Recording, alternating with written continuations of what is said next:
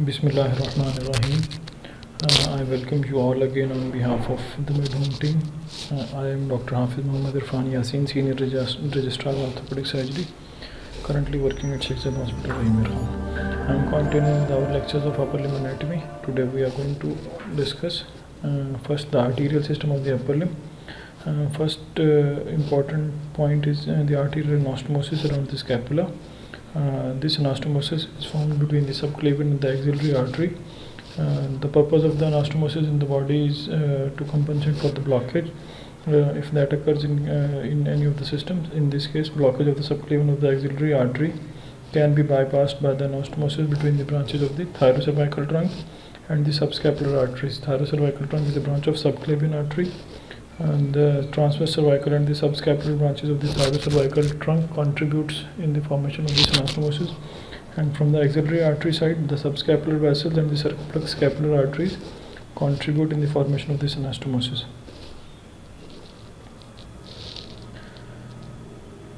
axillary artery uh, is the main ar- artery which continues in the upper limb. Uh, is the continuation of the subclavian artery. It begins at the lateral border of the first rib. uh, and continues uh, in the axilla and then ends at the lower border of the teres major muscle by continuing as the brachial artery. Axillary artery को हम तीन हिस्सों में divide करते हैं। This is divided by the pectoralis minor muscle जो इसको cross करता है and attaches to the coracoid process of the scapula तीन parts first part is proximal to the pectoralis minor muscle means इससे मीडियल या इससे पहले जो पार्ट है उसको हम फ़र्स्ट पार्ट कहेंगे जो इसके नीचे uh, इस मसल के नीचे पार्ट है। उसको हम सेकंड पार्ट कहेंगे and the part distal to the pectoralis minor muscle is the third part of the axillary artery branches की अगर बात करें तो as these are according to the part of the axillary artery first part से एक branch second part से दो branches and from the third part there are three branches the branch from the first part is the superior thoracic artery the branch from the second part is the thoracoacromial and the lateral thoracic artery and branches from the third part are the subscapular and the anterior and the posterior circumflex humeral arteries जो third part के branches हैं वो और जो थायरोसर्वाइकल trunk है उनके branches वो anastomosis बनाती हैं around the scapular region axillary artery के बारे में एक और बात याद रखनी है कि axillary artery is encased by the cords of the brachial plexus और इन दोनों के around between the axillary artery and the cord are covered and draped in the axillary sheath so in cases of aneurysm the axillary artery वो compress करते हैं on these cords और patient को neurological symptoms हो सकते हैं। Next is the brachial artery which is continuation of the axillary artery at the lower border of the teres major muscle and ये end होती है in the cubital fossa opposite to the uh, radial head or the radial neck by dividing into radial and the ulnar artery. Brachial artery की अगर हम relations की बात करें तो initially it runs inferiorly and laterally on the medial side of the cubital of the break of the biceps brachii muscle और cubital fossa में ये एंड कर जाती है। Initially in the supracondylar area of the humerus it is on the medial aspect and then in the cubital fossa it comes to lie on the lateral side slightly lateral side comparatively to the the proximal part और ये anterior होती है तो triceps brachii and the brachialis muscle और इसके ऊपर जो इसको कवर कर रहे होते हैं, वो biceps brachii and the coracobrachialis muscle brachial artery की अगर हम ब्रेकल आर्टरी की branches are muscular branches to the arm muscles nutrient artery to the humerus profunda brachii artery जो कि रेडियल नर्व कंपनी करती है in the radial groove and passes through the triangular space on the posterior aspect of the arm superior ulnar collateral branch जो company करती है ulnar nerve को and the inferior ulnar collateral branch and terminates by dividing into radial and अलर artery radial artery is smaller terminal branch of the brachial artery and it begins in the cubital fossa and passes below the brachioradialis muscle और continue करती है as a deep palmar arch in the hand. Radial artery में सबसे important जो याद रखने वाला मसला है कि ये ब्रेकियो रेडियालिस के इनिशियली डीप पड़ी होती है and in the lower part of the forearm it passes between the brachioradialis muscle and the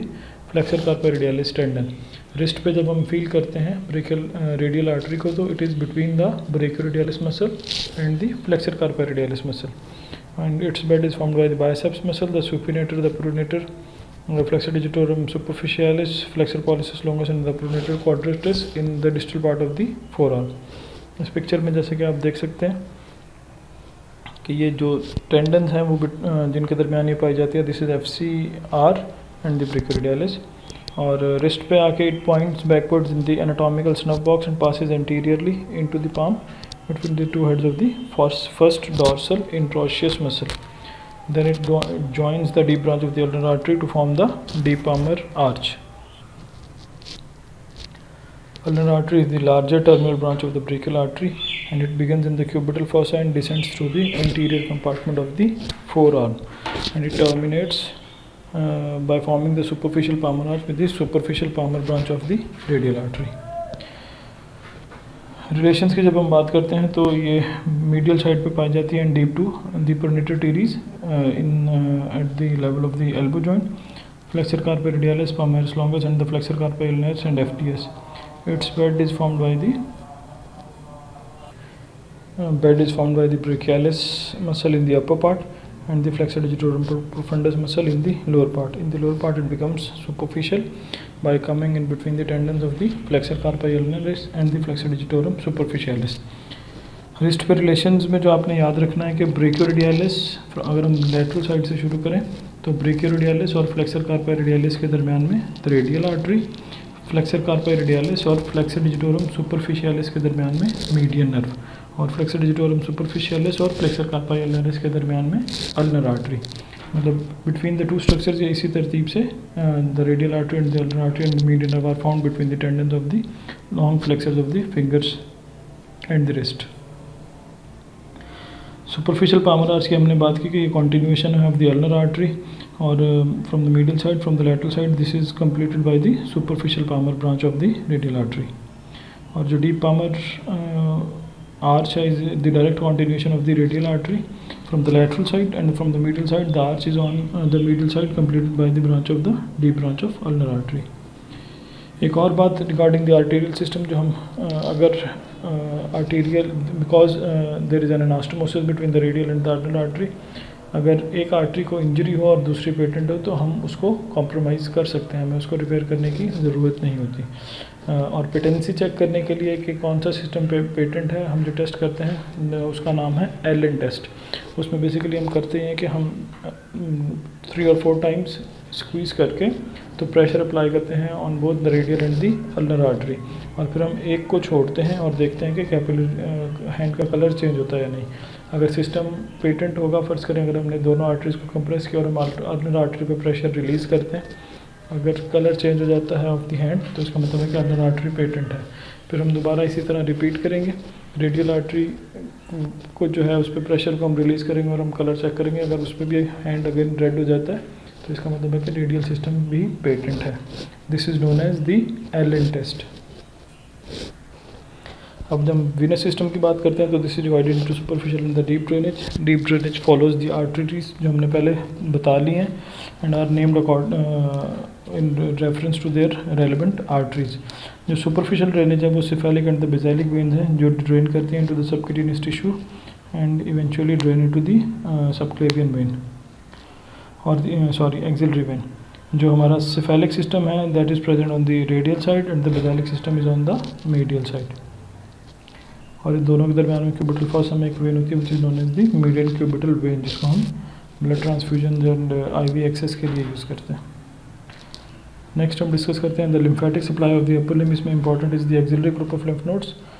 इसको हम आर्म पिट लिम्फ नोड्स भी कहते हैं. They are total twenty to thirty number और ये ड्रेन करते हैं vessels from the lateral quadrant of the breast अभी हम आगे ब्रेस्ट में लिम्फेटिक ड्रेनेज डिस्कस करेंगे अबाउट द मिडिल क्वाड्रेंट और जो सुपरफिशियल लिम्फ वेसल्स आती हैं from the walls of the chest abdomen above the level of the navel and the vessels from the upper limb ये axillary group of lymph nodes में drain हो रही होती हैं। इनकी सबसे ज़्यादा सिग्निफिकेंस ब्रेस्ट कैंसर में और डिफरेंट मेटास्टेटिक डिज़ीज़ हैं various cancer cancerous condition of the body axillary lymph nodes जो हैं वो फाइव प्रिंसिपल ग्रुप्स में अरेंज होते हैं द पेक्टोरल ग्रुप और the anterior group the subscapular और the posterior group the humeral और the lateral group and the central group which is present in the fat of the axilla and the apical group जिसमें ये ultimately सारे drain करते हैं। These are arrange in a manner that reflects the pyramidal shape of the axilla axilla की shape की अगर हम बात करें तो पिरामिड है तो ये भी उसी तरह अरेंज होते हैं. Anterior posterior lateral central and the apical group okay individual nodes group of nodes की बात करें जो anterior group of lymph nodes हैं, वो मीडियल वॉल ऑफ़ एक्जिला पे होते हैं, और around the lateral thoracic vein जो लेटरल थ्रेसिक सिस्टम है, उसके अराउंड ये पाए जाते हैं. Along the inferior margin of the pectoralis minor muscle और ये इंपॉर्टेंट याद करने वाली बात यह कि ये ड्रेन करते हैं the lateral part of the mammary gland and the sub plexus जो ब्रेस्ट की ड्रेनेज है that is the lateral part of the breast drains into the anterior group of lymph nodes जो पोस्टीरियर सबस्कैपुलर लिम्फ नोड्स हैं, वो lie करते हैं along the posterior axillary wall and the subscapular vessels जैसे कि नाम से हमें पता है तो ये ड्रेन करते हैं पोस्टीरियर एक्सिलरी वॉल को बैक को एंड शोल्डर को और नेक रीजन को। जो हमारा लेटरल ग्रुप ऑफ़ नोड्स है, वो लाई करता है along the lateral wall of the axilla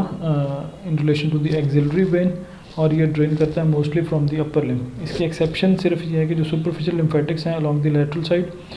वो ड्रेन करती हैं इन दी इंफ्रा क्लेविकुलर और the deltopectoral group of lymph nodes ये भी हम बात करेंगे next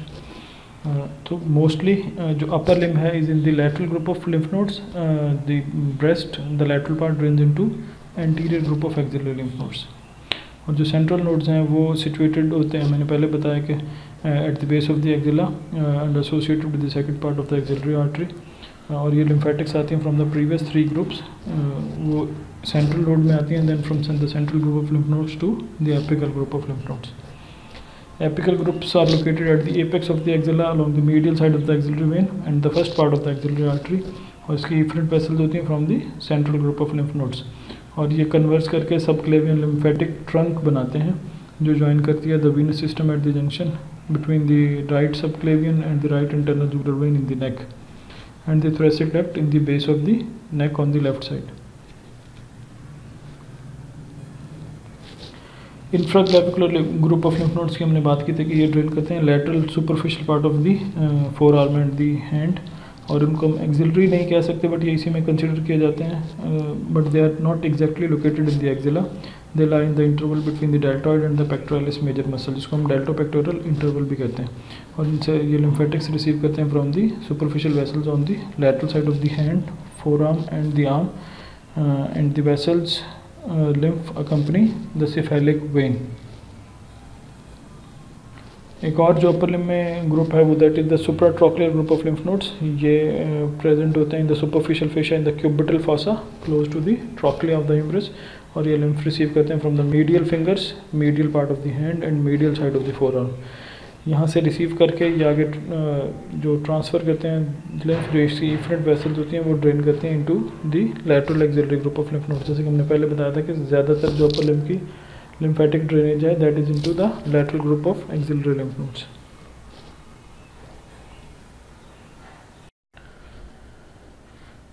This brings us uh, to the end of the arterial and the venous supply and the lymphatic supply of the upper limb. अब हम कुछ breast के एनाटॉमी डिस्कस कर लेते हैं। Breast is a modified sweat gland और modified apocrine gland है ठीक है? एपोक्राइन मीन्स कि it supplies the local The secretion drain at the local level with the help of various ducts and this consists of 15 to 20 lobules of the glandular tissue embedded in fat or जो most of the contour of the uh, breast is formed by the fat The lobules are separated by the fibrous septals running from the subcutaneous tissue to the fascia of the chest. इनको हम क्या कहते हैं The suspensory ligaments of Cooper uh, Between the capsule and the fascia over the pectoralis major. एक loose connective tissue होता है, उसको हम कहते हैं द रिट्रो मेमोरी स्पेस जो हर लॉब्यूल है, जो कि सेक्रीशंस बनाता है that drains by lactiferous duct on the nipple जो निप्पल का area is surrounded by the pigmented areola and the एरिकुलर gland of Montgomery जो कि इसको ल्यूब्रिकेट करते हैं। These are large modified sebaceous gland हैं। तो इनमें यहाँ पे सिबेशियस सिस्ट भी बन सकती है और इन्फेक्शन भी हो सकता है। ब्रेस्ट uh, को हम चार क्वाड्रेंट्स में डिवाइड करते हैं with the help of two vertical two lines at 90 degrees to each other the upper medial and the lower medial quadrant. Uh, and upper upper and the lower lateral quadrant. ये हम किसी भी lump को बताने के लिए भी हम यही टर्म्स यूज़ कर सकते हैं। Lump is in the upper middle और द अपर lateral quadrant और द लोअर मिडिल और द लोअर lateral quadrant. जो पोजीशन और एक्सटेंट है ब्रेस्ट की अगर हम बात करें तो जो from above downwards this extent from the second to six rib and from medio lateral from the lateral part of the sternum to the mid axillary line और अगर हम इसके बेड की बात करें तो two third of the breast rest on the pectoralis major muscle one third on the serratus anterior muscle जबकि इसका जो लोअर मीडियल एज है, वो ओवरलैप करता है the upper part of the rectus sheath ये एक लेटरल व्यू और we can set the medial view जिसमें हम सारे स्ट्रक्चर दे सकते हैं the nipple where the lactiferous ducts drain and the areolar area which is the pigmented area around the nipple और जो फैट है, वो सराउंड करती है दी होल ब्रेस्ट को और जो सस्पेंसरी लिगामेंट्स हैं, वो अटैच करते हैं the subcutaneous tissue with the chest wall और ये एक्सटेंड करती है from second to six rib जो लेवल ऑफ़ निपल है, वो at the level of fourth intercostal space है। ठीक। ब्रेस्ट की ब्लड सप्लाई की बात करें तो it is by the internal thoracic artery और द इंटरनल मेमोरी आर्टरी जो कि मीडियल क्वाड्रेंट को सप्लाई करती है and the axillary artery via its branches the lateral thoracic artery and the acromiothoracic branches वो लेटरल पार्ट ब्रेस्ट को supply करती हैं। जो इंटरनल मेमोरी आर्टरी है, उसकी परफोरेटिंग ब्रांचेस होती हैं, वो पियर्स करती हैं फ़र्स्ट और fourth first to fourth intercostal space ठीक है? और वो then traverse through the pectoralis major muscle to reach the breast substance along its medial edge इसकी जो पहली दो ब्रांचेज हैं the first and the second perforators are the largest of these branches उसके बाद जो इंटरकॉस्टल आर्टरीज हैं, वो भी इनको सप्लाई करती हैं by their lateral perforating branches venous drainage में एक सब एरियोलर वीनस प्लेक्सिस होता है, जो कि सब एरियोलर एरिया को ड्रेन करता है। बाकी पोस्टीरियर इंटरकॉस्टल वेन्स हैं, जो कि ब्रेस्ट को ड्रेन करती हैं और वो कम्युनिकेट करती हैं with internal vertebral venous plexus of the veins तो ये कनेक्शन है between the venous system of the breast and the vertebra जिसकी वजह से cancer can spread to vertebra from the breast and can cause back pain lymphatic drainage सबसे high yield topic है breast का। इसके बारे में सवाल जो है वो लाजमी पूछा जाता है। तो जो लिम्फेटिक ड्रेनेज है that follows the pathway of its blood supply along the tributaries of the axillary vessels जो लिम्फ है वो ड्रेन करता है इनटू एक्सिलरी लिम्फ नोड्स और जो अलॉन्ग द मीडियल साइड जो एग्जिलरी लिम्फ नोड्स में mostly on the anterior group of axillary lymph nodes में ड्रेन करता है। जो लेटर को हाफ़ है ब्रेस्ट का, जो मीडियल हाफ़ है, वो ड्रेन करता है into internal thoracic vessels piercing the pectoralis major muscle to reach the intercostal space and then to the lymph nodes along the internal mammary chain subareolar plexus of lymphatics भी है, जिसको हम the plexus of Sappey कहते हैं which is below the nipple and drains 75% into axilla and 15% into internal memory. Uh, और जो upper part of breast है उससे lymph can go to the supraclavicular lymph nodes इसलिए cancer can spread to supraclavicular lymph nodes also और जो lower to quadrants हैं उससे subdiaphragmatic या एब्डोमिनल लिम्फ नोड्स में भी जा सकता है। अब हम कुछ मिसलेनियस टॉपिक्स अपर लिम्फ के डिस्कस कर लेते हैं जिसमें से एक रोटेटर कफ है। Rotator cuff muscles are a group of muscles जो कि शोल्डर को सपोर्ट करते हैं। शोल्डर जॉइंट की अगर हम बात करें तो वो एक बॉल एंड सॉकेट जॉइंट है बट इसमें बॉल का size is three times more than the side of the glenoid cavity इसलिए ये स्टेबल नहीं है। सॉकेट इनकम्प्लीट है। तो इसकी स्टेबिलिटी के लिए जो मसल्स हैं, वो उनको हम रोटेटर कफ मसल्स कहते हैं and these are the most important stabilisers of the shoulder joint इनकी अगर बात करें तो the formula is SITS anteroposterior greater tuberosity में जो तीन अटैच होते हैं फ्रॉम एंटीरियर टू पोस्टीरियर उसमें supraspinatus infraspinatus and teres minor और जो लेसर ट्यूब्रोसिटी पे अटैच है वो सबस्कैपुलरिस है। तो ये एक सर्कल इनकम्प्लीट सर्कल बनाते हैं अराउंड द शोल्डर जॉइंट जो कि इन्फीरियरली डेफिशेंट है। इन्फीरियरली कोई मसल नहीं होता। इसलिए जो मोस्ट कॉमन डिसलोकेशन है शोल्डर की that is inferior and then because of the pull of the muscle the head comes to lie on the anterior side just below the coracoid इसको हम सब कोरोकॉइड डिसलोकेशन भी कहते हैं। Next is cubital fossa अगर हम boundaries की बात करें तो लेटरली ब्रेकोरिडियालिस मसल होता है मीडियली प्रोनेटर टीरीज होता है और जो ट्राइंगल की बेस है, वो that is completed by an imaginary line connecting the two humeral epicondyles contents की बात करें तो lateral to medial the formula is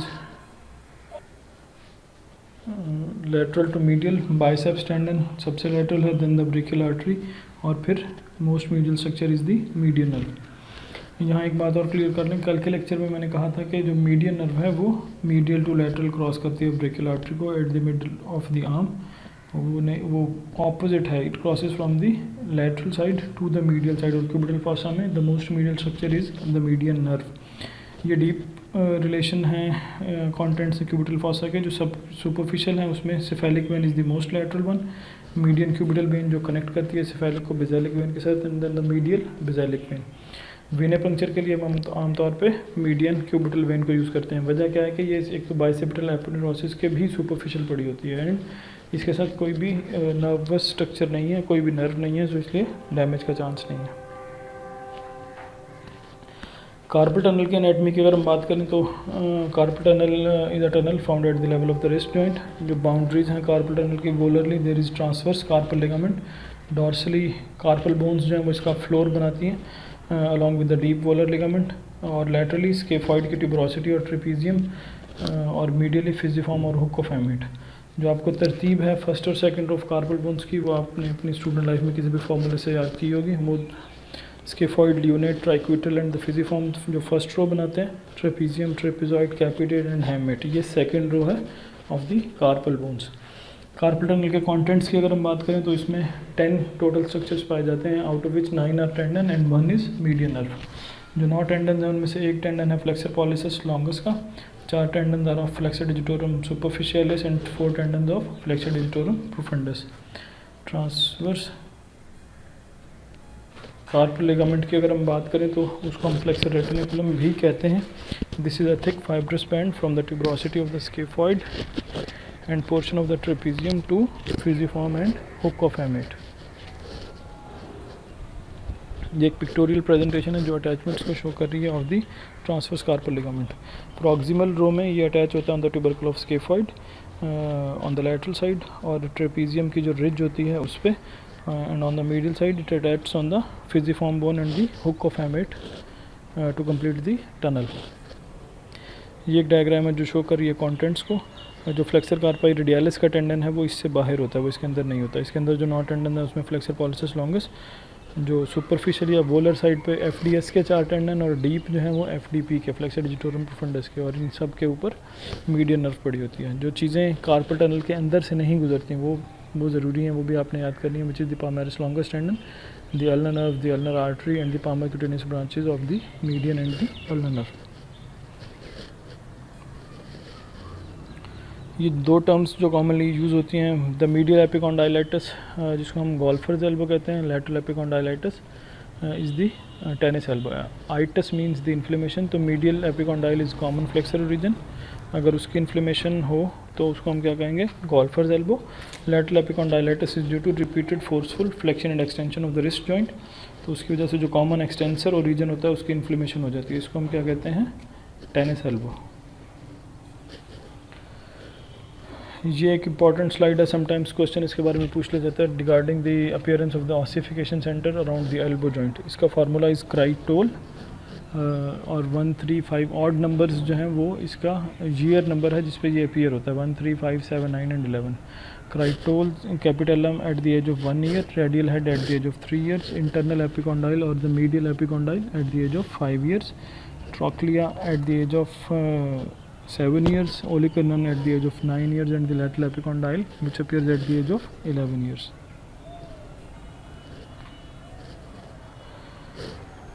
This brings us to the end of discussion of uh, the various uh, anatomical regions of the upper limb. अब हम कुछ trauma की बात कर लेते हैं regarding the fracture and dislocation of the upper limb. जो shoulder dislocation की अगर हम बात करें तो इसको डिफाइन अगर करना है तो head of humerus loses its articulation from the glenoid cavity most commonly interior है। और ये हमेशा बात या, याद रखें ड्यूरिंग डिस्क्रिप्शन मेडिकल लैंग्वेज में जब भी हम बॉडी में रेफरेंस जो है वो प्रॉक्सिमल को रखते हैं और डिस्टल को बताते हैं। मतलब अगर इंटीरियर डिस्लोकेशन की हम बात कर रहे हैं तो जो ह्यूमरल हेड है वो इंटीरियर आ जाएगा with reference to the glenoid cavity glenoid proximal है humeral head is distal. So, anterior dislocation is more common 95% of the time. Posterior dislocation is only five percent और जो ट्रू इन्फीरियर डिस्लोकेशन है due to ligamentous laxity वो less than one percent है. Causes की अगर बात करें तो anterior dislocation frequently occurs in young patients after trauma और पेशेंट को पेन होगी arm will be in abduction and slight external rotation और जब हम पेशेंट को एग्जामिन करेंगे तो humeral head will be prominent जो शोल्डर का कॉन्टूर होगा वो एसिमेट्रिकल होगा range of motion will be reduced and painful इसमें जो एग्जामिनेशन में सबसे इंपॉर्टेंट चीज़ है, वो हमने न्यूरोवेस्कुलर स्टेटस लाजमी असेस करना है। न्यूरोलॉजी में हमने असेस करना है the axillary nerve and the radial nerve axillary nerve के लिए हम शोल्डर एबडक्शन को देख सकते हैं, अगर पेशेंट की पेन अलाउ करती है और उसके अलावा हम सेंसेशन चेक करेंगे over the lower half of the deltoid muscle और रेडियल नर्व के लिए हम फिंगर और रिस्ट एक्सटेंशन जो है, वो चेक कर लेते हैं। ठीक है? जो पोस्टीरियर डिस्लोकेशन है उसमें usually result of discoordinated rotate of muscle contraction इसकी most common causes are electric shock and seizures ये एक कंपैरिजन है between anterior and the posterior dislocation pain दोनों में होती है. आर्म की position is difference in external and internal rotation जो इंटीरियर डिसलोकेशन है, उसमें आर्म ए डक्शन और एक्सटर्नल रोटेशन में होगा. जबकि जो पोस्टीरियर डिस्लोकेशन है, उसमें arm is in adduction and internal rotation range of motion will be restricted in both cases और जो रेडियोग्राफ्स हैं, उसमें हम आगे देख लेते हैं. शोल्डर के जब हम वैल्यूएशन करते हैं तो एग्जामिनेशन करना है न्यूरोलॉजिकल एंड द वेस्कुलर और हमने मस्कुलोक्यूटेनियस नर्व को भी देखना है। We also check for the function of the biceps brachial muscle and sensation of the anterolateral aspect of the forearm जो एक्सरेज कराने हैं, हमेशा ऑर्थोपेडिक्स में रूल है कि हमने दो एक्सरेज हमेशा रूल ऑफ़ टू हम उसको कहते हैं टू व्यूज़ अगर फ्रैक्चर आप देख रहे हैं तो आपने दो जॉइंट्स को इन्वॉल्व करना है। ठीक है तो इसमें हम एपी और लेटरल व्यू कराएँगे। ए पी व्यू में हमें क्या नज़र आएगा? अगर एंटीरियर डिस्लोकेशन है तो जो ह्यूमरल हेड है, वो कोरोकॉइड के नीचे आया होगा। उसको हम क्या कहते हैं? Subcoracoid position of the humeral head और एक्सिलरी व्यू में हमें पता लगेगा कि humeral head is anterior to glenoid और पोस्टीरियर टू ग्लिनॉइड ये एक पिक्टोरियल प्रेजेंटेशन है of the patient presenting with shoulder dislocation arm is in abduction जो डिस्टेंस है between the arm and the trunk is increased on the right side और external rotation में ये एक plain radiograph A P view of chest है, जिसमें हमें humeral head नज़र आ रहा है इन दी सब कोरोकॉइड पोजिशन शोल्डर डिसलोकेशन को हम मैनेज कैसे करते हैं? हम रिड्यूस करते हैं इसको by closed technique different methods हैं जिसमें कॉकर्स मैनूवर है Stimson's method and the Hippocratic method जो कॉकर्स मेथड है, उसमें हम क्या करते हैं? पेशेंट को traction and external rotation then adduction and then internal rotation ठीक है? Team traction external rotation then adduction then internal rotation इसको याद करने का फॉर्मूला क्या है? तीन traction external rotation adduction and internal rotation उसके अलावा हिपोक्रेटिक मेथड है which is traction and counter traction and then repeated internal and external rotation तो हेड उससे रिड्यूस हो जाता है। अब हम अगर ह्यूमरस के फ्रैक्चर्स की बात करें तो उसमें ह्यूमरस को हम तीन पार्ट्स में डिवाइड करते हैं the proximal humerus the shaft of the humerus and the distal humerus जो प्रॉक्सिमल ह्यूमरस के फ्रैक्चर्स हैं, उसमें most common is the surgical neck of the humerus और वहाँ पे नर्व कौन सी होती हैं? एक्सिलरी नर्व और उसके साथ एक्सिलरी नर्व के साथ पोस्टीरियर सर्कम्प्लेक्स ह्यूमरल आर्टरी उसको डैमेज का चांस है। रेडियल ग्रूव में हमने बात कर ली थी कि रेडियल नर्व इंजरी हो सकती है और रेडियल नर्व के साथ ट्राइंगुलर स्पेस से प्रोफंडा ब्रेक है या आर्टरी गुजरती है तो उनकी भी इंजरी हो सकती है। जो सुप्राकॉन्डाइलर एरिया है, उसमें अगर फ्रैक्चर होता है तो median nerve can be injured at the supracondylar region और अगर मीडियल कॉन्डाइल का फ्रैक्चर है या जब हम सुप्राकॉन्डाइल फ्रैक्चर बच्चों में वायरिंग कर रहे होते हैं तो उसमें अल्लर नर्व की इंजरी हो सकती है। अब हम कुछ बात कर लेते हैं regarding the supracondylar fracture of the humerus in children this is the most common injury in the of the elbow region in children extension type most common extension का मतलब क्या है? कि जो डिस्टल सेगमेंट होगा, वो एक्सटेंशन में होगा relative to the proximal segment this is the most common type और this is a three plane deformity इसमें डिस्टल सेगमेंट एक्सटेंशन में भी होता है मीडियली भी होता है और इंटरनली रोटेटेड भी होता है. ठीक है? इसके लिए हम क्लासिफिकेशन यूज़ करते हैं, ये ऑर्थोपेडिक्स में ज़्यादातर गार्टलैंड क्लासिफिकेशन हम यूज़ करते हैं और इसकी treatment is close reduction and K wire fixation आपके लिए याद करने की ज़रूरत, जो इंपॉर्टेंट बात है वो यह कि इसकी जो मोस्ट कॉमन डिफॉर्मिटी है वो गन स्टॉक डिफॉर्मिटी और दी क्यूबिटस वेरस डिफॉर्मिटी है. Nerve injury most common supracondylar fracture के साथ जो होती है वो एंटीरियर इंट्रोशियस नर्व की है, ठीक है? और जो नॉर्मल हमारा जो थ्री पॉइंट रिलेशनशिप है between the medial and the lateral epicondyle and the olecranon वो इसमें दैट रिलेशनशिप गॉट डिस्ट्रक्टेड और जो वी की अगर हम बात करें तो जो सुप्राकॉन्डल फ्रैक्चर है उससे कंपार्टमेंट सिंड्रोम होता है of the arm and the forearm तो उससे पेशेंट को वॉकमैन जिसकी कॉन्ट्रेक्चर हो सकता है जिसमें मसल्स की फाइब्रोसिस हो जाती है. This is a pictorial presentation of gun stock deformity which is most common complication of supracondylar fracture आप देख सकते हैं कि जो एल्बो uh, है at the elbow joint forearm is in varus position relative to the arm ये gun stock की शक्ल इख्तियार कर लेता है। ये जो हमारी वायरस और वेलगस की टर्म है, उसको एक्सप्लेन करने के लिए एक पिक्चर है कि varus is movement of a part of body towards the midline ठीक है? अगर हम क्यूबिटस की बात करें तो this is elbow genu varus और valgus is at the knee joint तो जो क्यूबिटस वायरस होगा उसमें forearm is towards the midline relative to the arm normally there is a valgus angle of ten degrees for males and sixteen degrees for females females में ज़्यादा क्यों होता है? क्योंकि उनकी पेल्विस ब्रॉड होती है। ठीक है? इसको अगर आप दूसरे तरीके से लें, अगर आप 180 की लाइन लें तो this is 170 degree in males and 166 और 164 डिग्रीज इन फीमेल्स अगर इससे ज़्यादा वेलगस एंगल हो वेलगस मतलब कि फोर आर्म ज़्यादा बाहर को चला जाए रिलेटिव टू दी आर्म तो उसको हम क्यूबिटस वेलगस कहते हैं। This is again commonly asked question, the Salter and Harris classification of physical injury. इसमें जो सॉल्टर के स्पेलिंग हैं, उससे हम याद रखते हैं कि कौन सी टाइप इसी तरह वन टू थ्री फोर और फाइव है। Salter is the straight across S से स्ट्रेट अक्रॉस टाइप वन है, जिसमें जो है वो स्लिप होता है फाइजियल स्लिप होता है, और कोई फ्रैक्चर लाइन क्रॉस नहीं कर रही होती एपिफाइसिस या मेटाफाइसिस को, इसको हम टाइप वन कहते हैं। अगर metaphyseal area which is the area above the growth plate वो इन्वॉल्व है तो दिस इज़ टाइप टू और अगर epiphyseal area which is the area below और लोअर तो वो टाइप थ्री है। और अगर दोनों बोथ इन्वॉल्व हैं टू और थ्रू एंड थ्रू है तो उसको हम क्या कहते हैं? Type four Salter and Harris injury और type five is the crush injury of the physis जिसमें हमें बाद में at the time of injury नहीं पता लगता, बाद में पेशेंट डिफॉर्मिटी के साथ प्रेजेंट करता है। क्लेविकल की अगर बात करें तो most commonly fractured bone of the body और जो इसकी मोस्ट कॉमन साइट है, वो that is the junction of the medial two third and the lateral one third this is also the most commonly fractured bone during birth इसकी treatment में हम patient को पॉलिसलिंग apply करते हैं या figure of eight bandage apply करते हैं। अब कुछ नेम्ड फ्रैक्चर्स की बात कर लेते हैं। जो अपर में है Monteggia fracture is fracture of the ulna with dislocation of proximal radial joint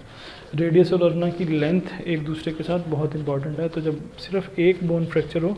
तो जो रेडियोलर जॉइंट है प्रॉक्सिमल या डिस्टल वो डिसलोकेट हो जाते हैं क्योंकि दूसरी बोन की लेंथ बढ़ जाती है। माउंटीजिया फ्रैक्चर में अगर आप इस एक्सरे में देखें तो जो फ्रैक्चर ओवरलैप है, उसकी वजह से the length of the radius becomes more than the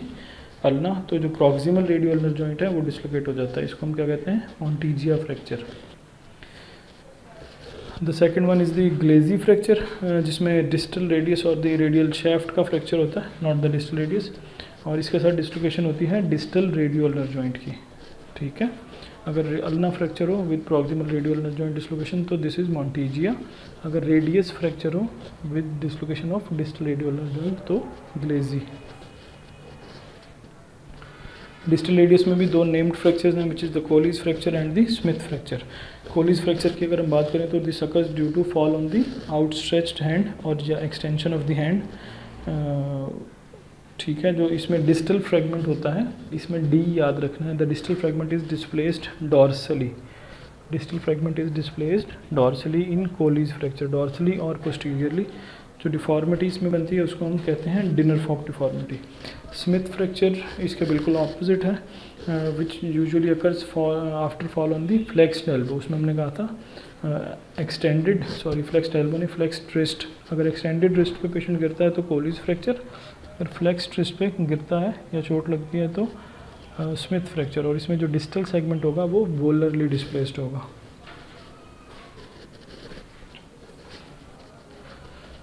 Next we talk about the scaphoid fracture which is the most common bone fractured among the carpal bones. Also occurs as result of fall on the palm and the hand is abducted इसमें uh, आमतौर पे patient को pain होती है in the anatomical snuff box in the wrist region specially on wrist extension जो scaphoid fracture है आमतौर पे एक्सरेज पे नज़र नहीं आता इसलिए हमें एक ख़ास व्यू कराना पड़ता है which is known as the the scaphoid view इस फ्रैक्चर को देखने के लिए। Uh, उसमें हम रिस्ट को रेडियल डेविएट एंड एक्सटेंड करके एक्सरे कराते हैं। इसमें जो इम्पोर्टेंट बात है याद रखने वाली वो ये है कि जो प्रॉक्सिमल फ्रेगमेंट है, जो स्केफॉइड की ब्लड सप्लाई है, वो डिस्टल से प्रॉक्सिमल है। मतलब जो बाद वाला एरिया है, वहाँ से प्रॉक्सिमल आ रही है। तो अगर स्केफॉइड की वेस्ट का फ्रैक्चर हो तो जो प्रॉक्सिमल फ्रेगमेंट है, जो पहले वाला फ्रेगमेंट है, उसके एवीएन के चांसेस बढ़ जाते हैं। ये the next is the boxer's fracture which is the fracture of the neck of the metacarpal ये बॉक्सर्स में हमें आमतौर पे मिलता है ड्यूरिंग द फिस्ट फाइट्स आमतौर पे जो ट्रेंड बॉक्सर्स होते हैं, उनमें फ्रैक्चर होता है सेकंड एंड थर्ड का which is the index and the middle finger और जो अनस्किल्ड फाइटर्स होते हैं, उनमें फ्रैक्चर होता है fourth and the fifth digit का. And the distal fragment is volarly displaced in case of boxer's fracture. Upper limb के जितने इंपॉर्टेंट इंपॉर्टेंट टॉपिक्स हैं, उनकी डिस्कशन हमने कर ली हुई है। अब हम कुछ की पॉइंट्स डिस्कस कर लेते हैं, जो जस्ट एक रिवीजन है, जो क्वेश्चन अगर आपसे पेपर में एग्ज़ाम में पूछे जा सकते हैं। पमेरिस लॉन्गस की अगर हम बात करें तो वो सुपरफिशियल है to flexor retinaculum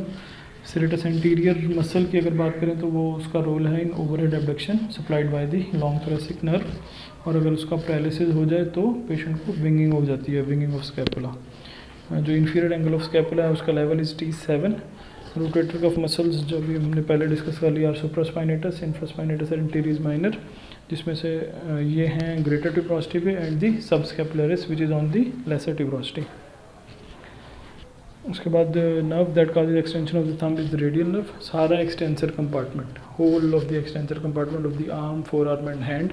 is supplied by the radial nerve क्योंकि ये पोस्टीरियर डिवीज़न से मिलकर बनती है is a branch of posterior cord coracobrachialis muscle is pierce by the musculocutaneous nerve flexor carpi ulnaris muscle जो है वो pierced by the ulnar nerve और जो रेडियल नर्व है वो पियर्स करती है सुपिनेटर मसल को, उसकी डीप ब्रांच और दी पोस्टीरियर इंट्रोशियस नर्व और जो मीडियन नर्व है वो पियर्स करती है प्रोनेटर टीरीज मसल को और मीडियन नर्व की इंजरी से डिफॉर्मिटी क्या होगी? Which is the ape hand deformity ape hand deformity होती कैसे है? जब थम की ऑपोजिशन ख़त्म हो जाती है and thumb lies in plane with the fingers ऐसे एक स्ट्रेट लाइन में पड़े होते हैं। इसके फॉइड फ्रैक्चर की हमने बात कर ली is the most common fracture fracture bone of the hand और ये फ्रैक्चर होती है when the arm when the patient falls on the hand in the abducted position और ब्लड सप्लाई इसकी uh, जो है वो फ्रॉम डिस्टल टू प्रॉक्सिमल है। तो अगर फ्रैक्चर होगा तो जो प्रॉक्सिमल पोल है उसके एवियन के चांसेस बढ़ जाते हैं। अगर हम कार्पल बोन डिस्लोकेशन की बात करें तो most commonly dislocated bone is the lunate bone और इसकी most common dislocation is on the volar side ठीक है? तो जब ये वोलर साइड पे आएगी एंटीरियर साइड पे आएगी तो ये कंप्रेस करेगी मीडियन नर्व को और पेशेंट को सिम्टम्स होंगे of the carpal tunnel syndrome carcinoma breast के पेशेंट को हम एवेलुएट कर रहे होते हैं तो जो पॉइंट्स जो शो करते हैं कि पेशेंट इज़ हैविंग मिलिग्नेंसी उसमें सबसे important is lymph node enlargement और अगर स्किन की डिम्पलिंग है, इसको हम कहते हैं प्यूली orange appearance this is due to tightening of the suspensory ligaments of the Cooper और अगर जो लंप है वो और the whole breast mass is adherent to the underline chest wall तो इसका मतलब है कि उसने चेस्ट वॉल को भी इन्वॉल्व किया हुआ और patient is most likely having advanced malignancy mastectomy जब हम कर रहे होते हैं which is the surgery for the breast carcinoma तो लिम्फ नोड इन्वॉल्वमेंट में हम जो लेवल डिफाइन करते हैं, वो इसके अकॉर्डिंगली करते हैं that is the pectoralis minor muscle अगर हम पेक्ट्रालिस माइनर से जो मीडियल साइड पे नोड्स हैं, वो निकाल दें तो this is level one clearance pectoralis minus के माइनर के नीचे जो लिम्फ नोड्स पड़े हुए हैं, उनको निकाल दें तो दिस इज़ लेवल टू और जो पेक्ट्रालिस माइनर के लेटरल हैं, उनको भी निकाल दें तो this is level three breast reconstruction की अगर बात करें तो जो दो फ्लैप्स हम यूज़ कर सकते हैं, वो हैं the latissimus dorsi flap and the transversus abdominis muscle flap these are a few question ये आप लोग देख लें and then try and answer these question अगर इनमें कोई प्रॉब्लम हो तो आप बाद में मुझसे टेलीग्राम ग्रुप में पूछ सकते हैं।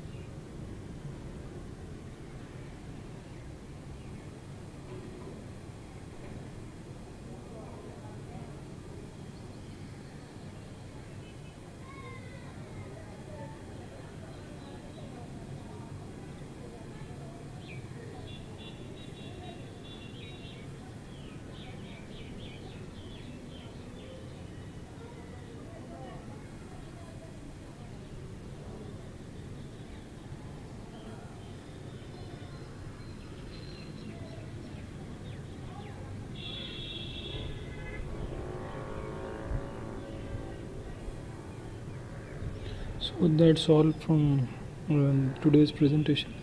Uh, we'll meet tomorrow inshallah with discussion on the low limb topics. Thank you so much